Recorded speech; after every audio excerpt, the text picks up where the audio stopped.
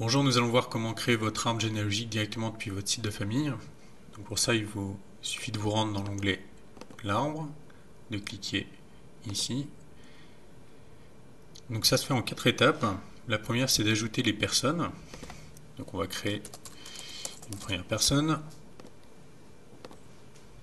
une seconde,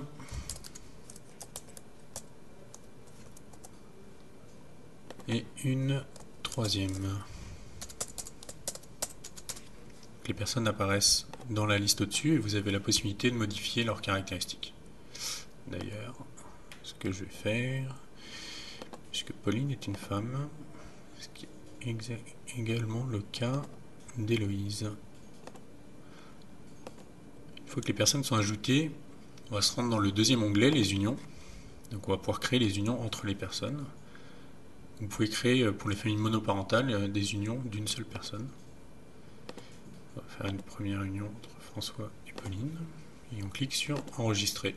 C'est pareil, vous avez la possibilité d'indiquer plus de détails ou de modifier les caractéristiques.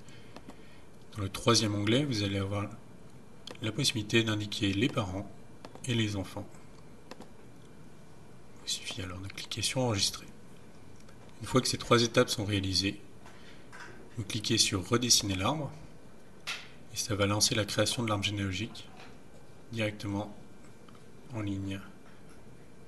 Donc là c'est un exemple forcément un peu court, mais vous avez euh, la possibilité de mettre jusqu'à 1000 personnes dans l'arbre généalogique sans problème. Si vous souhaitez modifier l'arbre généalogique, il vous suffit de cliquer sur Modifier l'arbre et de reprendre les étapes telles que nous venons de les voir.